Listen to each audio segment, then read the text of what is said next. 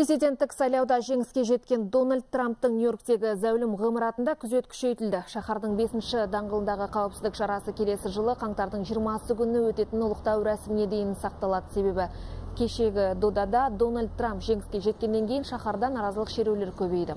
Осыған байланысты қазір ғимараттың айналасы бетон және темір қорғандармен қоршалған.